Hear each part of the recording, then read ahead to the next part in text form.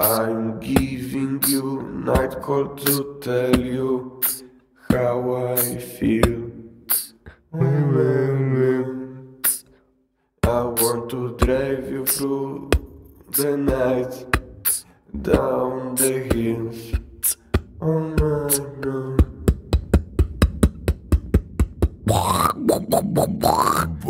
Taki dubstepowy trochę zrobiłem ten remix. Mega fajnie. Bardzo mi się to podobało. Pewnie się zastanawiasz, e, dlaczego cię tu zebrałem dzisiaj i dlaczego tak zaczęliśmy. Dlaczego kazałem ci robić Beatbox. beatboxing, e, a ja śpiewałem piosenkę Night Call z filmu Driver. Drive. Driver z filmu Drive. Driverem był Ryan Gosling, ale Drive się chyba nazywał film. Na pewno? Tak mi się wydaje, no. No to tak pewnie się zastanawiasz, dlaczego chciałem być Ryanem Goslingiem, a ty tylko akompaniamentem. Ja się nie dziwię, dlaczego ktokolwiek chciałby być Ryanem Goslingiem. No tak. No dobrze, zagram w tą grę. No tak, no nie, nie mogę się domyślić. Powiedz mi, proszę. Ponieważ dzisiejsze opowiadanie No. nazywa się Nocny Kierowca. Uuu. Tak jest, Nocny Kierowca. Yy, Więcej ci nie zdradzę na ten moment, bo chciałem cię zapytać, Mhm. ale jeszcze nie wymyśliłem co. Miałeś jakąś przygodę kiedyś e, uberową albo taksiarską? Ostatnio jak jechałem, to miałem takie poczucie, że chyba nigdy nie jechałem z tak wyluzowanym gościem. Ale co to znaczy wyluzowanym? Był mega wyluzowany. W sensie, wydaje mi się, że w ogóle jechaliśmy automatem, więc on nie musiał trzymać skrzyni biegów, więc po prostu jedną ręką, którą powinien normalnie zmiegać biegi, to trzymał frędzelki od y, ściągacze od kaptura w bluzie swojej. Drugą ręką kręcił tak płynnie tą kierownicą na mydelniczkę, że ja w ogóle nie czułem, nie czułem strachu. No. Wyświetlały nam się te wszystkie po drodze, jak masz zwolnij, przekraczasz prędkość, wyje... on se jedzie po prostu jak po maśle i na końcu nie odezwaliśmy się do siebie ani słowem przez całą przejażdżkę No. i na końcu tylko powiedział no mam nadzieję, że nie było za szybko. A ja mu powiedziałem wtedy gościu, powiem ci, że taki luz widzę u ciebie, że w ogóle się nie bałem. Fajnie. No, No. on był takim po, poznańskim Ryanem Goslingiem w takim razie. Tak. Ja ostatnio z takich ciekawych, co pamiętam... Wydaje mi się, że miał tatuaż na twarzy. To mnie trochę A miał kurtkę ze, ze skorpionem? Nie wiem. Mm. Miał bluzę. E, Ciepło tam było w tym samochodzie, więc nie miał kurtki. Okej, spoko. Ja ostatnią taką historię, jaką miałem, e, że miałem jakiegoś ciekawego kierowcę, to jechałem z takim panem, który e, całą drogę jakby jedną ręką, lewą ręką prowadził samochód, Mhm. A prawą ręką, tam gdzie jest miejsce na, jest ten cup holder, to jest miejsce na napoje, Mhm. miał puszkę orzeszków i jadł jednego za drugim, ale w taki sposób, że wiesz, jechał, jechał, jechał, brał jednego orzeszka, chrupał go Mhm. i w momencie, kiedy kończył chrupać, już z rączki następny wędrował do buzi, on po prostu tak seriami go. No, ktoś tu lubi orzeszki. Bardzo. Człowiek wiewiór. Ale no, z drugiej strony no, orzechy są spoko, bo jak jeździsz tak w nocy, to żeby się pobudzić, No tak. O, już wiem. no, Teraz mi się przypomniał. Miałem kiedyś takiego melomana, ale takiego prawdziwego audiofila. prawdziwego audiofila. W sensie, no nie, nie, nie, nie audiofila, melomana. Melomana. ja wsiadłem tam z tyłu, on miał rozjebane w ogóle. Miał zepsute całe to siedzenie przednie. No. I mi mówi tak, lubi, lubi, jaką lubi pan muzykę? A ja mówię mu, no, że lubię rap. A on mówi, dobra, bo on, on, on chyba nie był Polakiem z tego, co pamiętam. No. I mi mówi tak, y, polska, rosyjska, m***ńska. O, No, no. może to nagrajmy jeszcze raz. no, wypipamy. No, a ja mówię, że no, no to niech pan coś zapozna tam rosyjskiego. I mi cały czas wołkował, jakby inaczej, on nie skończył przez całą drogę ani jednej piosenki. On mi w połowie mniej więcej zmieniał co chwilę piosenkę, pytał mnie za każdym razem, jak mi się podoba. No i byłem zachwycony. Prosił mnie bardzo, żebym potem dał ocenę za dobrą muzykę. Za dobre sprawowanie. No, jak najbardziej dostał. Bardzo mi się podobało. No, Fajne No. przeżycie. Jak to się ma do naszego nocnego kierowcy dzisiejszego? Chyba jest tylko jeden sposób, żeby się przekonać. Ale to jeszcze... Predykcje, stały segment. Po pierwsze stały segment, po drugie szczegóły odnośnie tego utworu. No to najpierw predykcja, a potem szczegóły. Eee, czego, z czego się spodziewasz po nocnym kierowcy? No, Albo będzie rozwoził ludzi yy, gdzieś i może będzie roz, rozwoził jakichś takich szemranych typów, Mhm. tak myślę. Albo będzie jeździł po prostu i to on będzie zabijał ludzi. No, e, no to zebrałeś mi w sumie moje obie teorie. No, No bo też się spodziewałem, szczerze mówiąc, że to będzie jakiś taki straszny typ, e, coś ala czar- czarna wołga. a okej. No, przyjdzie pan i cię zabierze. No to już mam wrażenie, że nagrywaliśmy już kiedyś taki odcinek. I Tak, powiedziałeś to był- dokładnie to samo. Tak, no bo to był... E, Garbus. Garbus, garbus Garbus zjada, dzieci. Bardzo fajne opowiadanie. Polecamy sobie przesłuchać, jak, Jak- będziecie jak mieli- najbardziej. jak nie słuchaliście. Tak, No to klimat co? A, blokowiska, taki tam jest. Polskiego. Polskie blokowisko, huba buba i te sprawy. Dragon Ball. O, No to co? Y, powiedz mi, kto to tam napisał, y, kiedy. już ci wszystko mówię. Nocny kierowca został napisany przez użytkownika RAW. Przez Raw. Przez, V. przez V. Mhm. To jak ten Bóg egipski słońca, tylko że jeszcze V. Albo Rafał. Rafał. Rafał. V. Spryciula. Mamy cię. Y, Rok temu, co ciekawe, No, to świeżynka. świeżynka, 383 odsłony od tego czasu, więc porównywalnie do tych wszystkich innych to jest bardzo dobry wynik. No poprzednie też tam miało z 300 coś. No ale miało 8 lat. To prawda. No i tak naprawdę to jest tyle z rzeczy, których możemy się dowiedzieć na ten moment. Nie ma żadnych dopisek i informacji, że to na konkurs czy cokolwiek bądź, więc Zobaczymy, co przyniesie noc. a z nią nocny kierowca. Zapraszamy.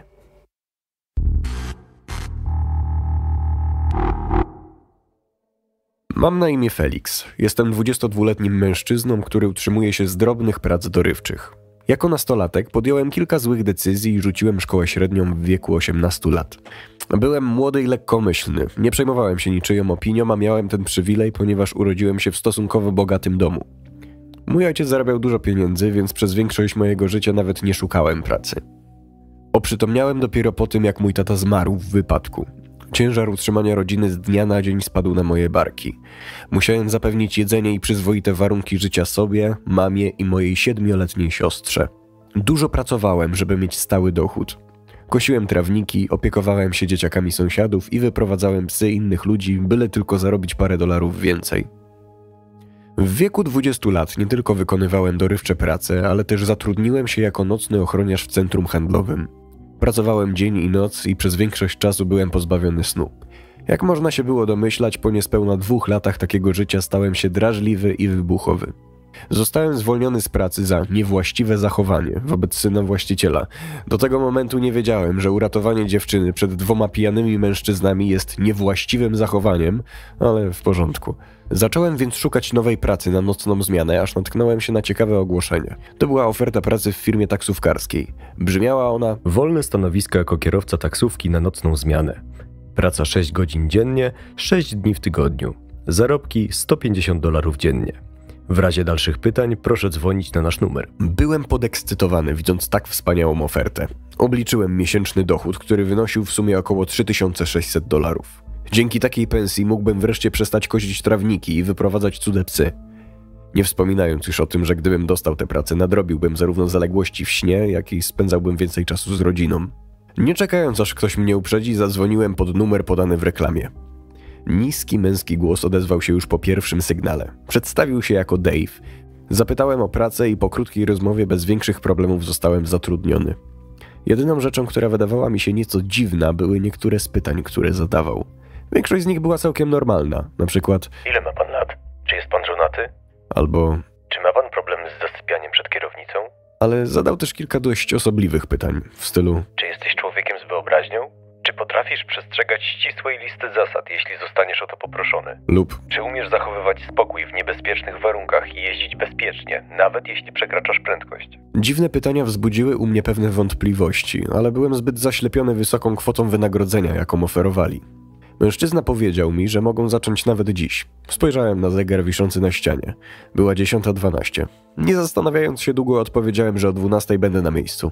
Moja mama była zachwycona, gdy przekazałem jej tę wiadomość. Bardziej cieszyła się z tego, że spędzę z nią więcej czasu niż z pieniędzy. Pomyślałem, że kupię jej coś ładnego w prezencie, jak tylko skończę mój pierwszy miesiąc pracy. Dotarłem do ustalonego miejsca o 23.58. To było zaledwie kilometr od mojego domu, więc nie zawracałem sobie głowy zabieraniem mojego samochodu. Dave powiedział, że firma zapewnia taksówki pracownikom. Punktualnie o 12 zobaczyłem wyłaniające się z zakrętu światła wolno jadącego samochodu. Kierowca wjechał w boczną uliczkę i zaparkował naprzeciwko mnie.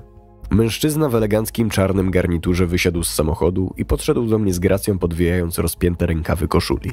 Przywitał mnie ciepłym uśmiechem i wręczył mi kluczyki do samochodu, którym miałem jeździć. Była to żółta Toyota Prius. Typowy samochód firm taksówkarskich. Mężczyzna pogratulował mi zdobycia pracy, ustawił specjalną aplikację na moim telefonie i tuż przed odejściem wręczył mi kartkę papieru i 150 dolarów, po czym powiedział: Przeczytaj ten papier jak najszybciej. To lista zasad, których musisz przestrzegać. Po czym odwrócił się i chwilę później zniknął gdzieś w mroku nocy. Po kilku minutach bezcelowego gapienia się na plecy odchodzącego faceta wsiadłem do samochodu, zamknąłem drzwi i spojrzałem na równo złożoną kartkę papieru. Wyprostowałem ją i zacząłem czytać. Hej Felix, tu Dave. Jest coś, co powinieneś zrozumieć. Tylko ty możesz przeczytać tekst na tej kartce, więc nie ma sensu iść na policję lub nas pozwać, bo szczerze mówiąc, i tak by nikt ci nie uwierzył. Pamiętaj o tym. Posłuchaj mnie teraz uważnie. Większość ludzi, których będziesz przewoził, nie będzie ludźmi. Zasada pierwsza. Jeśli otrzymasz telefon z numeru, który ma tylko sześć cyfr, nie odbieraj. Nie zbliżaj się na odległość mniejszą niż 100 metrów od lokalizacji, z której przyszło połączenie przez następne dwie godziny. Jeśli jednak przypadkiem odbierzesz, jeszcze nie wszystko stracone. Zawsze przeproś i wymyśl powód, dla którego nie możesz przyjechać. Oni źle znoszą nieuprzejme uwagi. Zasada druga. Zawsze sadzaj pasażerów na tylnym siedzeniu i sprawdzaj ich odbicie w lusterku. Jeśli mają odbicie, podrzuć ich na miejsce i nie proś o pieniądze. Zapłacą, jeśli zechcą. Jeśli jednak nie mają odbicia, weź pistolet ze schowka i zastrzel się. To będzie marginalnie bezbolesna śmierć w porównaniu z tym, co oni ci zrobią. Zasada trzecia. Nie jedz niczego niewegetariańskiego w kabinie. Zapach mięsa może przykuć uwagę jakiegoś stworzenia, a uwierz mi, że nie chcesz ich uwagi. Zasada czwarta. Jeśli otrzymasz telefon od osoby, którą znasz, nie odbieraj połączenia. To nie oni. Jeśli odbierzesz, usłyszysz ogłuszający pisk, który w przeszłości był odpowiedzialny za pękanie bębenków w uszach kilku nieostrożnych taksówkarzy. Zasada piąta. Nie próbuj porzucać samochodu na drodze. Jeśli to zrobisz, zginiesz w najbardziej brutalny sposób, jaki twój mózg może sobie wyobrazić. Tak, oni potrafią czytać w myślach. Zasada szósta. Nie możesz zrezygnować z tej pracy bez przepracowania tu co najmniej dwóch tygodni, z powodów, których nie mogę sprecyzować ze względu na politykę firmy. Zasada siódma. Jeśli zobaczysz ciemne postacie biegnące wzdłuż samochodu, przyspiesz i postaraj się je zignorować. Nie zatrzymuj się i nie zwalniaj. Jeśli utrzymasz prędkość co najmniej 80 km na godzinę, nie będą w stanie cię dogonić. Inną opcją jest jazda po ruchliwej drodze. Będą przeprowadzać pozorowane szarże i dawać ci złudzenie, że cię doganiają. Ale jeśli jedziesz wystarczająco szybko, po prostu nie zwalniaj przez 3 do 4 minut i już ich nie będzie. Zasada ósma. Nie bój się przekroczyć dozwolonej prędkości, jeśli sytuacja tego wymaga. Naprawdę, to może uratować ci życie. Zasada dziewiąta. Jeśli poczujesz zapach rozkładu na tylnym siedzeniu, nie oglądaj się za siebie. Zamiast tego weź pistolet, zamknij oczy, odwróć się i strzel we wszystkie trzy tylne siedzenia. To zniknie. Nie może cię skrzywdzić, jeśli go nie widzisz. Zasada dziesiąta. Jeśli silnik zgaśnie, nie wysiadaj z samochodu. Zazwyczaj jest to przynęta, aby wyciągnąć cię na zewnątrz. Poczekaj 20 do 30 minut i samochód powinien odpalić. Zasada jedenasta. Nie dzwoń do nikogo. Wołanie o pomoc również denerwuje niektóre istoty.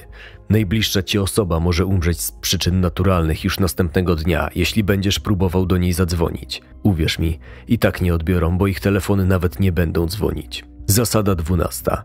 O szóstej rano przyprowadź ten samochód pod swój dom. Zostaw kluczyk w środku i wróć do mieszkania. Samochód zniknie w ciągu mniej więcej godziny i będzie z powrotem następnej nocy punktualnie o dwunastej. Ej, jak myślisz, którą zasadę złamie?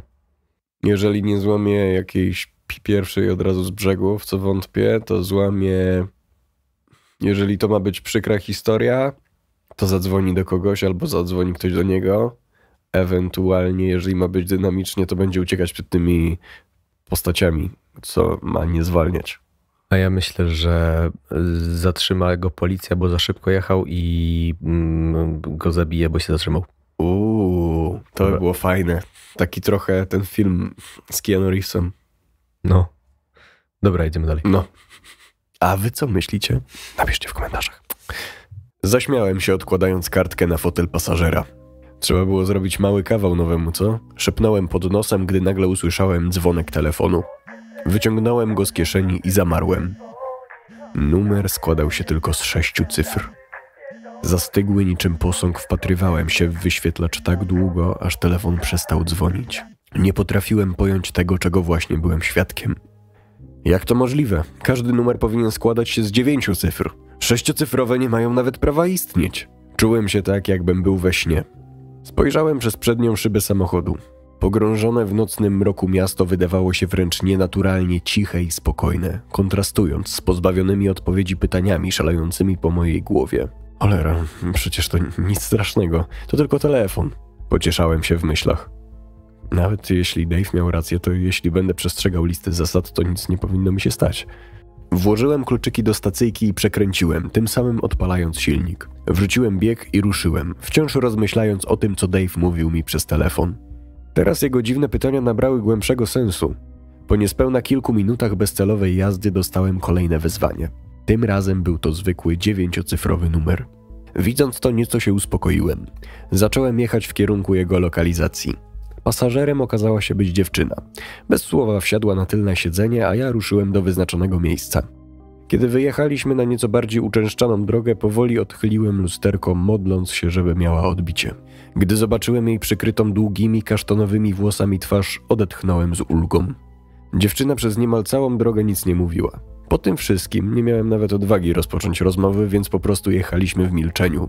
W końcu dotarliśmy do celu. Znaleźliśmy się na farmie na obrzeżach miasta. Dała mi 10 dolarów i wysiadła z samochodu. Miast do furtki skierowała się jednak wprost na ścianę stojącej przy drodze stodoły. W pierwszej chwili pomyślałem, że dziewczyna postradała zmysły i za chwilę zwyczajnie uderzy o twarde drewno. Jednak gdy ta, niczym pająk, z łatwością wspięła się po jednej ze ścian farmy, zmieniłem zdanie. Na chwilę zapomniałem, że nie jestem kierowcą zwykłej taksówki. Siedziałem zszokowany, wpatrując się bez celu w gładkie, pionowe deski, po których weszła kobieta. W końcu z transu wyrwało mnie beczenie kus i dźwięki rozdzieranego mięsa. Zaniepokojony, jakby nigdy nic, zacząłem odjeżdżać. Po niemal godzinie rozmyślania nad tym, czego byłem świadkiem, otrzymałem kolejny telefon. Czułem, jak krew zamarza mi w żyłach, gdy zobaczyłem numer pasażera. Miał tylko sześć cyfr. Drżącą dłonią sprawdziłem jego lokalizację. Znajdował się 87 metrów ode mnie. Było już za późno na zmianę kierunku jazdy. Był coraz bliżej. Zacząłem panikować. Gwałtownie przyspieszyłem do prawie 100 km na godzinę. Po prostu przejadę obok niego, pomyślałem. Wtedy go dostrzegłem. Elegancko ubrany mężczyzna stojący przy drodze. Po prostu stał tam i patrzył się na mój samochód, pokazując dłonią, że chce wsiąść. Nie miałem najmniejszego zamiaru się zatrzymywać. Odjechałem kilka dobrych kilometrów dalej i wciąż nieco roztrzęsiony zacząłem powoli zdejmować nogę z gazu. Wtedy ich zauważyłem. Ciemne postacie biegły obok mojego samochodu.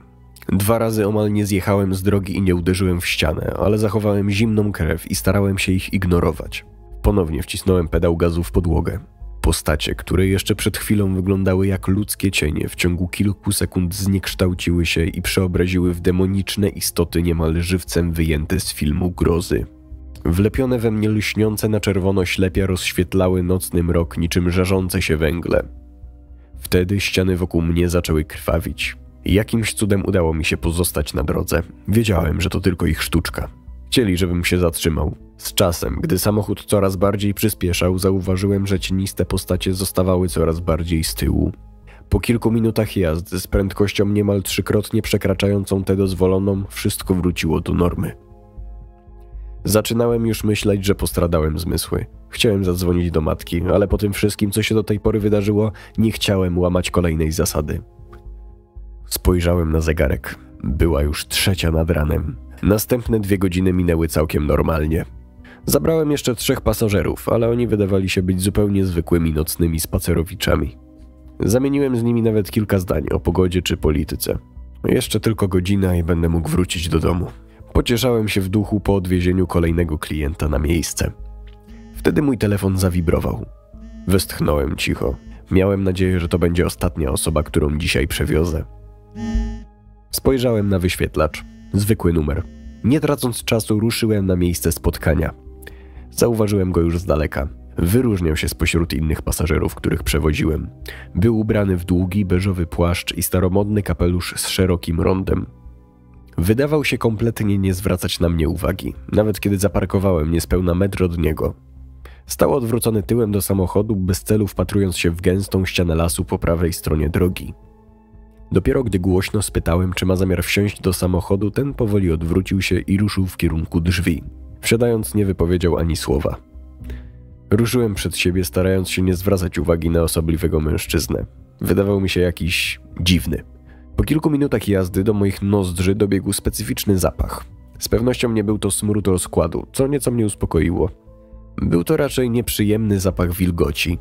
Dopiero po chwili zorientowałem się, że źródłem smrodu był wysłużony płaszcz mężczyzny, który po bliższych oględzinach wydawał mi się całkowicie przemoczony.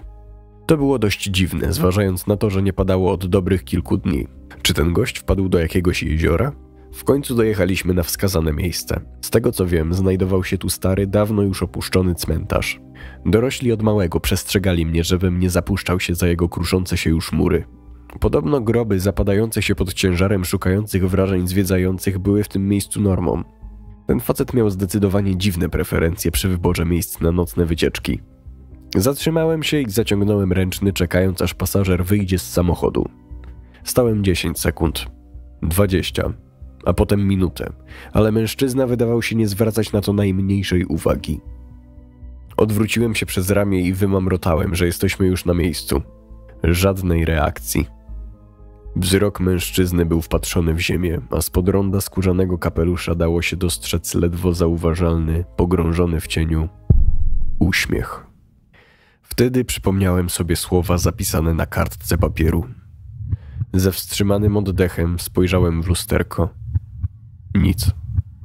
Fotel, na którym siedział mężczyzna, był całkowicie pusty. Miałem wrażenie, jakby serce stanęło mi w miejscu. Usłyszałem cichy, histeryczny śmiech za moimi plecami. Z każdą sekundą stawał się coraz głośniejszy.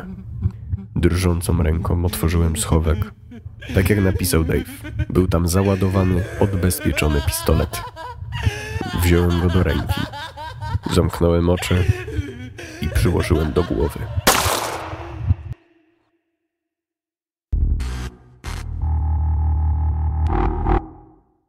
I tak właśnie skończył nocny kierowca. Taka jego historia. Pierwszego dnia pracy. Pierwszego dnia pracy i już strzelił samobuja. Dobrze, E. że nie jest piłkarzem. No, całe szczęście. Myślisz, że na przykład jeżeli jesteś kierowcą, jakimś Uberem właśnie albo taksówkarzem, No. to czy inaczej się odbiera takie historie? Bo ja siedząc tutaj z tobą w naszym pięknym studio, no. nie czuję się jakoś specjalnie zagrożony, ale może gdybym był taksówkarzem i sobie słuchał tego podcastu właśnie ja jeżdżąc z ludźmi, to byłbym bardziej zestresowany. Wydaje mi się, że cała ta, cała straszność tego scenariusza powinna polegać na tym, że jesteś, no wyobraź sobie sytuację, że jesteś w małej przestrzeni z No. obcą osobą, której raczej nie widzisz, bo jest za tobą. Jestem w stanie sobie wyobrazić taką sytuację, Bo ponieważ jeździłeś Uberem. jeździłem Uberem. No, No, właśnie. No to, no to właśnie powiedz mi, no i nie jesteś taksówkarzem i nie potrafisz sobie wyobrazić, czemu to jest straszne. No nie, no, Ale byłeś Uberem. no nie, no jest, jest w sensie pierwszy dzień pracy na Uberze był mega przerażający. Ale to jest dlatego chyba, że, że to był pierwszy dzień w pracy, a nie? No tak. No, a miałeś taką listę zasad? Jaka, o, jaką miałeś listę zasad jako Uber? Y, Było tak. Mm, Tam moim y, szefem był pan Mateusz i było tak. Dostałem też taką kartkę papieru i tam było tak. Zasada pierwsza. Nie zatrzymuj się na hot doga w trakcie swojej ośmiogodzinnej zmiany. I tyle? Nie, no jeszcze było na przykład tak. Zasada druga. Zawsze pod koniec swojej zmiany jedź pod następnego kierowcę. Nie zatrzymuj się. Nie, nie było, że się nie zatrzymuj. No, bo to chyba słabo. Mój, mój szef nie był tak yy, ciekawy jak Dave. No ale pewnie Nie też... Dave, Felix. Felix. Nie, Dave, Dave to był pracodawca. Dave, Dave. Mhm. Tak. No ale też pewnie płacił ci w złotych, a nie w dolarach. tak. Nudziarz. Albo biedak. Biedak. Jeszcze, nie wiem co gorsze. No właśnie. Biedak czy nudziarz? Piszcie w komentarzach. Dobra, pytanko do ciebie jest takie. Albo nie, to nawet nie jest pytanie. To jest bardziej obserwacja. E, bo ja już widziałem takie historie, czy słyszałem takie historie. Mam tam TikToka, przeglądam sobie czasem No.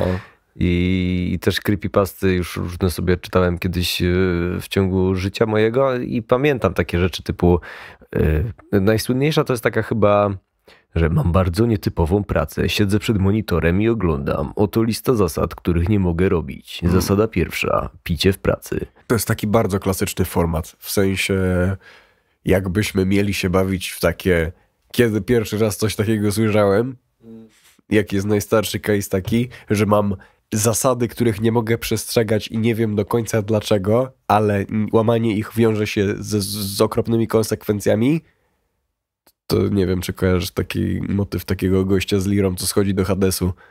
A kojarzysz tego chłopa, co miał takie dwie tablice? W ogóle, o, dobrze, że o tym wspominasz, o tym chłopie, bo po pierwsze uważam, że rozkład 3-7 to jest słaby rozkład na dwie tablice, Tak. to po pierwsze, ale po drugie uważam, że 12 zasad nie jest zbyt chwytliwe. Nie miał być chwytliwe, miał być bezpieczne. Ej, pytanie. Myślisz, że Uważam, że to jest za dużo zasad. myślisz, że za 150 dolarów co, 12 zasad? No dobra, Chłopie. ale, no ale mógł, dałoby się to skondensować jakoś. Pytanie jest takie. Czy to było tak, że, że on od razu znał te 12 zasad? Czy na przykład, wiesz, zatrudnił tam jednego kierowcę Testował, były I beta tak, no, no, wiesz, wysłałem go na godzinę, tam go śledził w tej aplikacji i nagle mu zniknął z mapy i tak... Aha. Zasada druga. Jedź szybciej niż 80 km na godzinę. tak. A ja myślę, że on tak testował, że na początku ktoś jechał 50 i mówi, dobra, jedź powyżej 50. Zobaczymy. Ja Potem współczuję... ktoś jechał 70, no bo to jest drugie ograniczenie No tak, następne i tak, kurwa, no nadal nie, nadal nie. Ja, ja współczuję tym osobom, które będą pracowały po nim. I po nim, wiesz, za 3-4 miesiące Mhm. będzie mam dla ciebie listę 45 zasad. Top 300 najlepszych zasad, których musisz się trzymać, a on potem będzie... Mam nadzieję, że wynagrodzenie będzie również rosnąć razem z listą zasad. Ja nie wiem, ja się zastanawiam nad jedną rzeczą. Czemu Dave'owi się to opłaca? Nie wiem, czy pamiętasz, ale jedna z tych zasad to było weź od nich pieniądze albo nie, jak wolą. No, ale ja mu i tak płaci Felix, więc nie potrzebuję jeszcze od nich brać. To są napiwki takie Aha, bardziej. są napiwki. E, no to, To już jest z góry opłacone. To jest To jest- all exclusive. a no tak, bo to jest aplikacja... Jak się... O, ale mam dobre pytanie. No. Jak myślisz, jak się nazywa ta aplikacja dla potworów? Ja mam Ghost Rider. Okej. Ja myślę, że to by mogło być jakieś takie Spookify na przykład. Albo coś. Spooky- Chociaż do Spookify to- to bardziej do muzyki. no. Um, Spookify? albo, albo jak, jak jest Free Now, to by mogło być Kill Now. Kill Now, fajne. Nie wiem. No takie naciągane. No trochę. Ale to ciężko w ogóle coś wymyślić, bo one mają takie nazwy, że to jest mało pola do popisu. No, Uber, Bolt. Co to kurwa E, znaczy? No właśnie, to nie jest słowo nawet. Ojej. No dobra, no to w takim razie co? E, Pytanie pierwsze do ciebie. Dawaj. Czyli jak oceniasz tę historię? Potencjalny roczny przychód Feliksa, gdyby nie strzelił się w łeb pierwszego dnia, Mhm. na przebieg w żółtej Toyocie Prius. Uuu, no taksówce to na pewno nie była nowa Toyota. O, nie, na pewno nie. Cieka ej, myślisz, że jak, że jak ona znika, w sensie inaczej, ja podejrzewam, że jak ta Toyota Prius znika, No. to ona znika gdzieś w eter i ona się pojawia nas no, ponownie. No. Myślisz, że resetuje się licznik? Jest tam jakiś majster. Majster, duch, duch majstra jakiegoś, O, co tam robił przeglądy na lewo i teraz y, nawiedza ludzi resetując im liczniki. no jakbyś chciał prawdziwego diabła, to wystarczy jakiegokolwiek mechanika. Nie, nie, przepraszam, cofam to, bo Będziesz się tłumaczył z tego. ja podpadnę każdej, ka- każdemu zawodowi. E, dobra, to ja w takim razie daję łączna ilość pa pasażerów, którą obsłużył tej nocy Dave, na ilość punktów karnych, które otrzymasz po przekroczeniu trzykrotnie prędkości. Uuu, no to grubo. To jest moja ocena. No, no, szczerze mówiąc, y, wydaje mi się, że adekwatna. Nie jest, y, to opowiadanie nie urywa dupy, szczerze mówiąc, po prostu. Przepraszamy, panie Rafał. Przepraszamy, ale no, no nie jest to, nie jest to nowe, nie jest też jakoś super napisane, nie będę ukrywał. O, moje ulubione zdanie w tym opowiadaniu. Włożyłem kluczyki do stacyjki i przekręciłem tym samym odpalając silnik. No tak się buduje napięcie, prostaku. Budujesz napięcie włączając samochód, odpalając Chciałem ci silnik. przypomnieć, że w moim, y, pamiętasz y, Clio moje? No. No to tam za każdym razem, jak wkładałem kluczyk do stacyjki i przekręcałem, to było budowane napięcie, bo nigdy nie było wiadomo, czy ten samochód odpali. Ale to jest taksa zapewniona przez pracodawcę. Oczywiste jest, że ona odpali. Napię- takie Prius. napięcie pasowało, kiedy była końcówka, że wziął pistolet, Okej, no przyłożył dobra. do głowy i strzelił. Wyobraź sobie końcówkę. I wtedy się zaszczeliłem. Jaki wniosek? Jaki wniosek jest z tego opowiadania? Morał jakiś taki. Morał musi być morał, zawsze jest morał, dlatego piszemy historię, żeby potem nie popełniać błędów. To są jak dziecięce e, bajki, dla, Ezopa, nie, tak. niemieckie bajki dla dzieci. Morał z tej historii jest taki, że nawet gdy ktoś z pogardą na ciebie zerka, zawsze sprawdzaj lusterka. Zawsze sprawdzaj lusterka, jak to śpiewał poeta.